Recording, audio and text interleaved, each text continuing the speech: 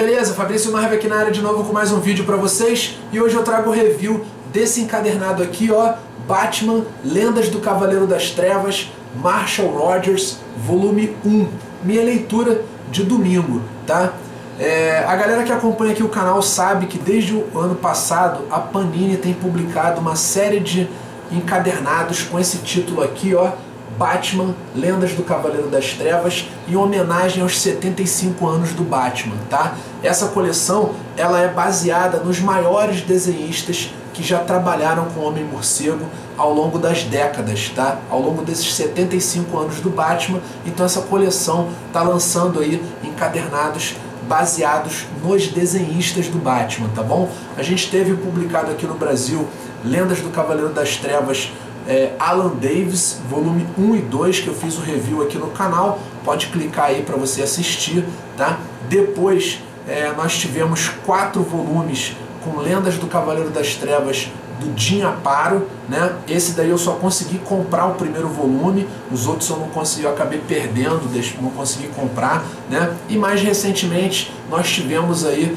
Lendas do Cavaleiro das Trevas Neil Adams, tá bom? É, lançou, a Panini lançou os três primeiros volumes de uma coleção de cinco, né? Neil Adams vai ter cinco volumes e tá faltando lançar aí quatro, o número 4 e o número 5, que devem chegar nas bancas aí juntos, ainda agora em janeiro, tá? E agora a gente tem aí a coleção baseada no Marshall Rogers, tá bom, galera?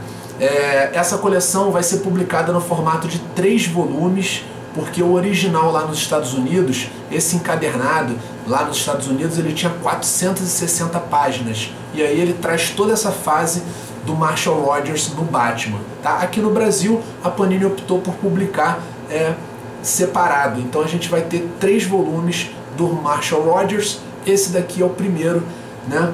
Histórias clássicas, galera, da década de 70, tá? É, essas histórias aqui, para você terem uma ideia, elas foram publicadas em 1977 e 1978, tá? Ou seja, ano que vem, essas histórias aqui do Marshall Rogers, elas vão fazer aí 40 anos, tá? O Marshall Rogers, inclusive, é um desenhista que já faleceu, ele faleceu em 2007, né? Mas ele deixou sua marca aí no mundo dos quadrinhos, especialmente no Batman. Ele trabalhou na Marvel, na DC na década de 70, né? Mas foi junto com Steven Englehart, que é um roteirista que já teve aqui no Brasil na, é, ano passado na Fast Comics, né, junto com esse carinha aí, ó, o roteirista Steven Englehart, ele fez uma das fases aí mais clássicas do Homem Morcego, material que você tem a oportunidade de acompanhar agora, sendo republicado aí pela Panini, tá bom? É, esse encadernado, galera, ele tem 164 páginas, tá bom? Olha só, lombada quadrada, no mesmo estilo, na, a mesma diagramação de página, a mesma diagramação de lombada das outras edições da coleção, então vai ficar bonitão quando você colocar toda essa coleção aí na sua estante, né? Essa, esse encadernado, como eu estava falando, ele tem 164 páginas e custa R$ 23,90. Né? Então, além desse volume 1 aqui, nós vamos ter mais dois volumes. Então, vai dar mais ou menos aí uns 60, 60 e poucos reais. Você vai ter essa coleção do Marshall Rogers, tá bom? Tá muito barato, galera. Eu estava pesquisando para falar para vocês sobre esse encadernado e eu vi o preço do encadernado gringo. Legends of the Dark Knight, essa imagem que vocês estão vendo aí, ó. Tá vendo? Esse encadernado gringo no Amazon.com tá 84 dólares usado, tá? O novo tá 140 dólares. Então imagina aí vezes 4, né?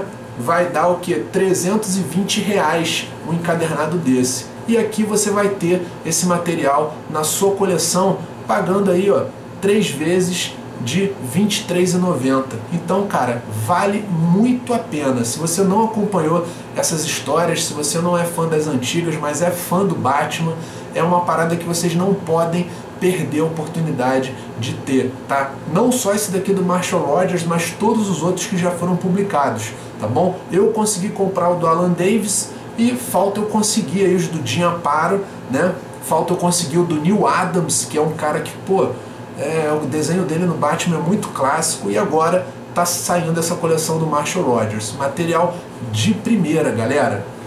Tá? Deixa eu mostrar aqui para vocês é, a arte, tá? A capa, galera, é uma das histórias mais clássicas aí do Marshall Rogers com é, o Batman, né? Uma história chamada Peixe Risonho, uma das histórias aí mais clássicas da década de 70, junto que ele escreveu, que ele desenhou junto com o roteirista Steven Englehart, tá bom? A primeira história desse encadernado, pessoal, não se assustem, tá? Vocês vão ficar pensando assim, pô, o Fabrício é maluco de ter recomendado esse encadernado aqui. Calma, galera. Só a primeira história que é ruim, mas eles incluíram nesse encadernado aqui porque foi a primeira história desenhada pelo Marshall Rogers. O argumento é do Bob Rossakis, né? E é uma história muito fraquinha chamada Batalha das Máquinas Pensantes, né? Tem até a participação da Liga da Justiça, dos, dos membros aqui da Liga da Justiça, eles estão enfrentando um vilão chamado O Calculador. Caramba, galera, acreditem se quiser. O cara tem uma calculadora no peito, tá bom? Onde ele digita uns códigos, né? E aí algumas é, apetrechos aí saem desse visor que ele tem na cabeça, tá bom? Olha só um ventiladorzinho, também sai aí uma mão né, sólida para agarrar o Batirangue, destruir o Batirangue do Batman, né? É um vilão muito tosco, cara, é uma história muito ruim, mas é a primeira história do encadernado, tá? Se vocês conseguirem passar por ela, vão chegar na fase clássica de Batman Detective Comics, número 471. Essa já está sendo escrita pelo Steven Englehart, tá? E essa fase aqui, galera, do Steven Englehart com o Marshall Rogers é uma das fases aí mais clássicas do Batman. Inclusive dizem que essa fase inspirou é, o visual da o desenho do, do Marshall Rogers ele inspirou o visual do filme Batman do Tim Burton. Porque o Marshall Rogers, galera, ele era um desenhista assim meio diferente para a época, porque ele se formou em arquitetura. Então ele faz uns desenhos assim de prédios né? A, a cidade de Gotham City dele é muito maneira. Né? E isso foi uma parada que deixou a marca dele nos quadrinhos, o fato dele desenhar muito bem os prédios e o cenário todo de Gotham City. Né? Dizem também que essa fase né, do Marshall Rogers junto com Steven Englehart foi também inspiração para o Bruce Timm quando ele criou a série animada do Batman, tá? E aí a gente começa já Detective Comics número 471. Olha só, aparição do Rupert Thorne. Quem assistiu o desenho do Batman vai lembrar desse cara. Era um inimigo do Batman lá, um político. Na verdade, eu nem sabia que ele tinha aparecido nos quadrinhos. Eu pensei que ele tinha sido criado só no desenho. O meu eu não, eu não li isso aqui na época, tá, pessoal? Em 1978 eu estava nascendo, né? Essas histórias elas foram republicadas aqui no Brasil em 1980 é, foram publicadas na época em 77 e 78 na Ebal. Olha só a capa, tá? Na revista do Batman, a quarta série da Ebal. E depois foi publicada, republicada pela Abril na revista dos Super Amigos em 1985, tá? Mas eu não acompanhei isso na época, então a minha referência de Batman surgiu é, pelo desenho Batman Animated Series e eu pude perceber que realmente é, tem inspiração dele nessas páginas aqui, tá bom? Olha só aí detalhes da arte, né?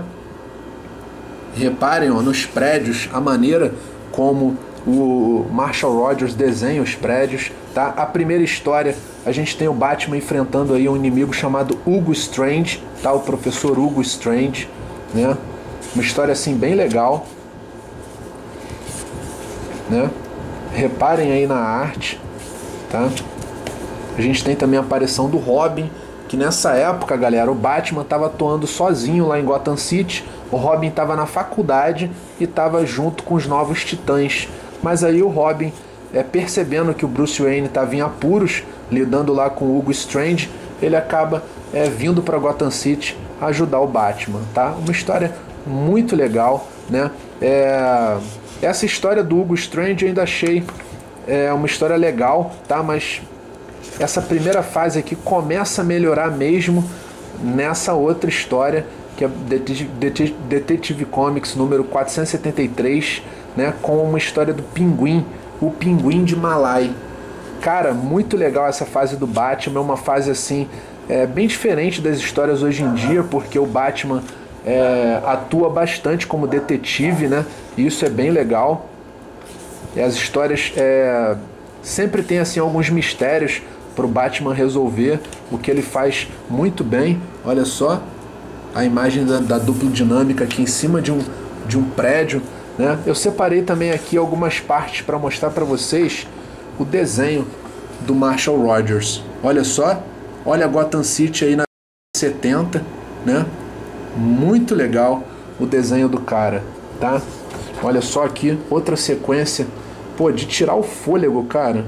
Mesmo vendo aqui hoje, hoje em dia, quase 40 anos depois, a gente tem que reconhecer o trabalho do cara, tá? Essa daqui é a primeira parte da história, o peixe risonho. Dá só uma olhada nos prédios, cara, né? Lá de Gotham City. Muito bom, cara. Muito bom mesmo. Essa história é muito maneira. Aquela história do pinguim é maneiríssima. E essa história aqui do Coringa, ela é muito maneira. O Coringa, ele infecta a água lá dos rios e dos mares. E todos os peixes lá que a galera tá pescando tá nascendo com essa cara, né? Do Coringa. Então ele vai até um escritório lá de direitos autorais e ele diz que ele quer a patente pelos peixes coringa e que todo mundo que comer peixe nos Estados Unidos vai ter que pagar para ele uma parcela. Claro que isso não rola e aí ele começa a matar os funcionários lá da repartição pública, né? E lança um desafio pro Batman. Ele fala assim: ó, vou matar os, o cara a tal hora. Aí o Batman vai para lá com toda a polícia e mesmo assim não consegue impedir o Coringa de cometer o assassinato lá do, dos servidores públicos lá da repartição do negócio lá de escritório de patentes, tá? Uma história muito legal, cara, muito legal mesmo, mesmo mesmo, tá?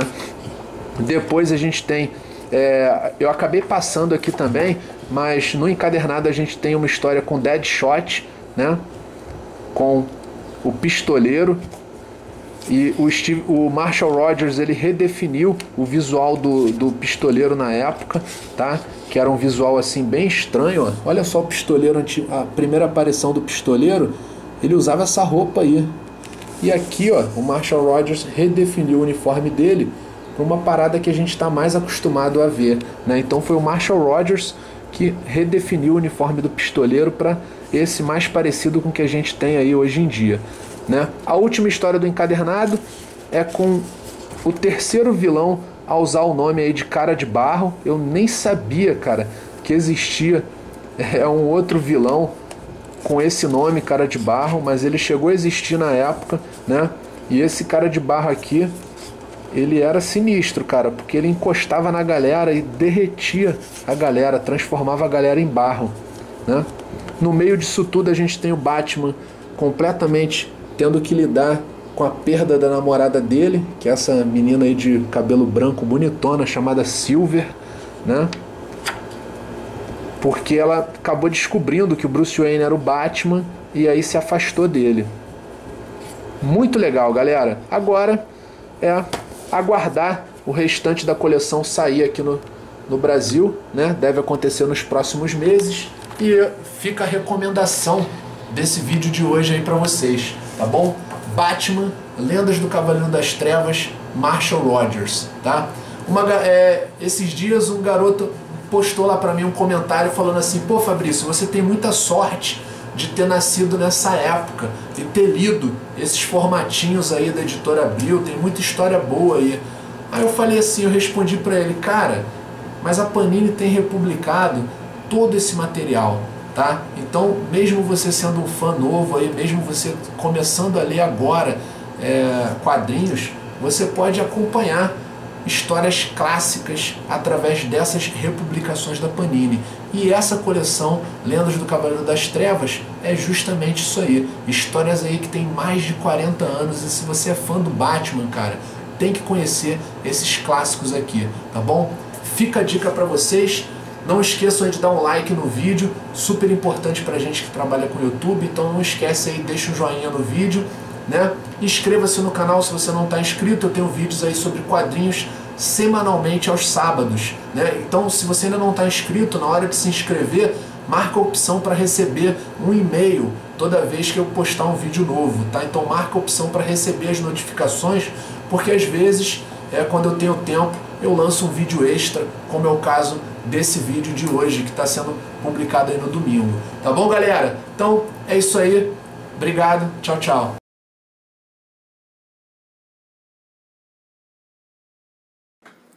É isso aí, galera. Curtiu o vídeo? Acesse aqui no menu ao lado e conheça os outros vídeos do canal. Segunda-feira tem dica de viagem, quinta-feira review de figuras de ação e sábado quadrinhos. Aproveita para acompanhar a Toys Travels nas principais redes sociais, Facebook, Instagram e Twitter e clica aqui embaixo para se inscrever caso você ainda não esteja inscrito no canal. Valeu, tchau, tchau.